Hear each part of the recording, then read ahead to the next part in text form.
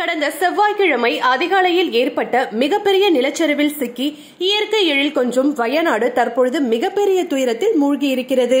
அதேபோல கேரளாவும் வயநாடு மக்களும் மீண்டு வருவதற்காக திரைத்துறை பிரபலங்கள் பலரும் நிதி உதவிகளை அளித்து வருகின்றனர். அந்த வகையில் மலையாள சூப்பர் ஸ்டார் மம்முட்டி இருபது லட்சம் ரூபாயை நிதியாக கொடுத்துள்ளார். அவருடைய மகன் துல்கர் சல்மான் பதினைந்து லட்சம் கொடுத்துள்ளார். கேரளாவின் துயரை கண்டுதான் கண்கலங்கி நிற்பதாக கூறிய உலகநாயகன் கமலஹாசன் வயநாடு மக்களுக்கு உதவ சுமார் இருபது லட்சம் ரூபாய் நிதி உதவி அளித்துள்ளார். தமிழ் சினிமாவின் மிக மூத்த நடிகரும் மலையாள திரையுலக ரசிகர்களால் அதிகம் விரும்பப்படும் நடிகருமான விக்ரம் வயநாடு மக்களுக்காக சுமார் இருபது லட்சம் ரூபாயை நிதியாக கொடுத்திருக்கிறார். நடிகை ஜோதிகா நடிகர்கள் சூர்யா மற்றும் கார்த்தி ஆகிய மூவரும் இணைந்து சுமார் ஐம்பது லட்சம் ரூபாயை வயநாடு நிலச்சரிவுக்கு நிவாரண நிதியாக கொடுத்துள்ளனர். நேஷனல் கிரஷ் என்ற அனைவராலும் அழைக்கப்படும் நடிகை ராஷ்மிகா மந்தனா கேரளாவின் துயர் நீக்க பத்து லட்சம் ரூபாய் நிதியாக கொடுத்திருக்கிறார்.